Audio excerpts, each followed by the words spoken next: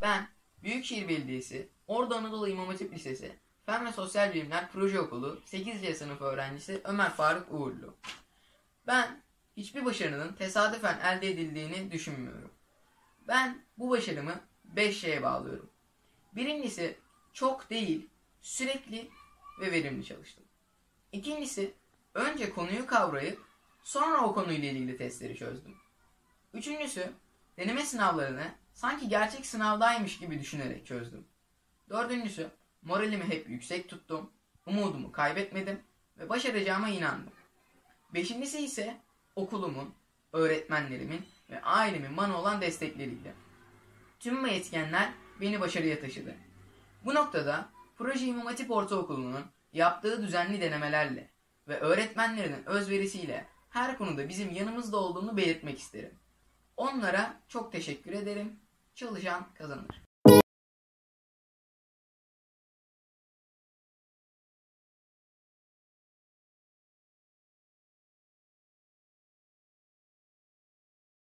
Ben Hafız Reyhan Duman, Sivas Zekai'den İmam Hatip Ortaokulu öğrencisiyim.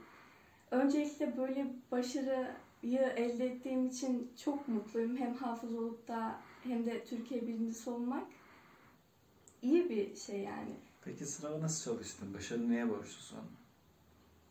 Hiçbir özel ders almadım, dershaneye de gitmedim. Okulun tamamen kendi imkanlarıyla ve İl Milli Eğitim Müdürlüğü'nün köprü projesiyle sınava hazırlandım. Birçok denemeye girdim. LGS e, kamp, kamp kampları falan oluyordu. Öğrenci koçluk. Öğrenci koçluk sistemi de vardı. Onların sayesinde oldu yani. Hem de sıkı bir şekilde çalıştım. Hafız olmanda bu başarının katkısı var mı? Hafızlık yaparken çok uzun süre dersin başında oturuyordum.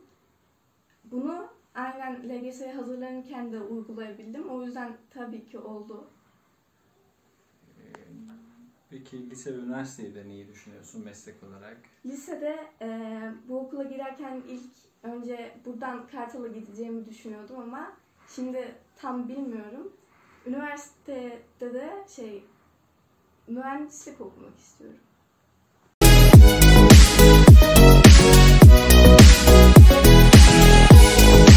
Merhaba, ben Karabük Mevlana İmam Hatip Ortaokulu 8. sınıf öğrencisi Şeyma Nur Coştu. Girmiş olduğum 2021-2022 LGS'de tüm soruları doğru cevaplandırarak Türkiye derecesi elde ettim. Bu başarımın temelinde çok sıkı çalışmam gelmesiyle beraber okulumuzda açılan destekleme yetiştirme kursları da etkili olmuştur. Bu başarımda benden desteklerini esirgemeyen başta ailem olmak üzere tüm öğretmenlerime ve sevgili müdürüme sonsuz teşekkür ederim.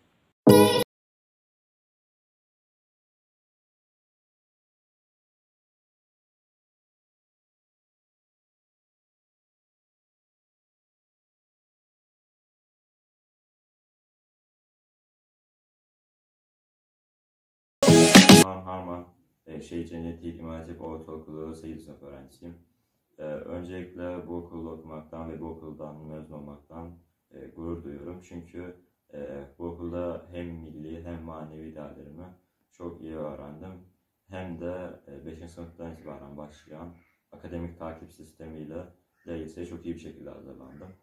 Bu başarıya ulaşmamdaki etkenlerden bazıları e, düzenli çalışmak ve bu çalışmayı yıllara yaymak ve bu çalışmamda e, okulum her türlü desteği bana gösterdi. Ya, gerek kamp yani ara tatillerde yapılan kamplar olsun, gerek de e, seri denemeler olsun. Bu desteğini her zaman gösterdi.